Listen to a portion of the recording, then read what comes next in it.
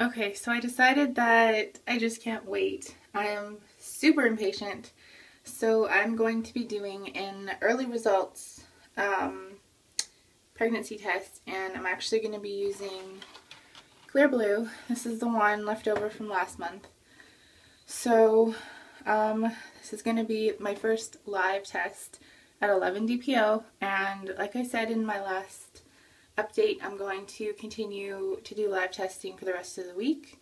Even if this one comes up negative, because there is a huge possibility that this one could still be negative.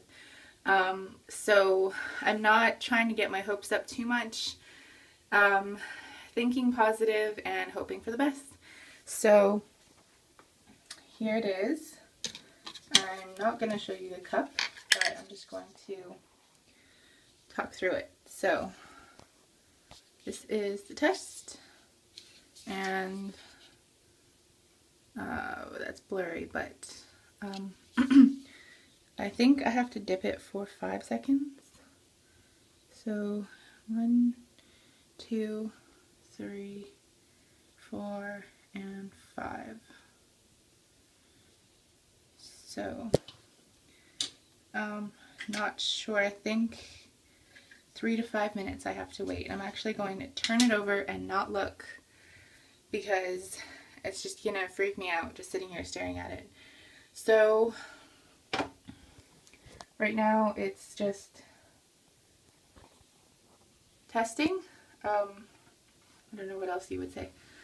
And I have to wait three minutes. So I'm on my phone right now. I can't really tell when three minutes will be up.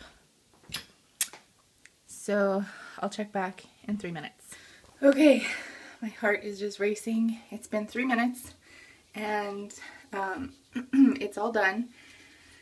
And okay, let's take a look. Uh, just as I thought, it is negative not sure if you can see that. Let's just put it down. So even with an early results test, it came out negative. So a little bit bummed about that. But like I said, um, I was sort of expecting it. So I don't know, that puts that whole first positive test into perspective that it could just be something that my mind made up that I was hoping for. So um, I'm not going to stop trying now.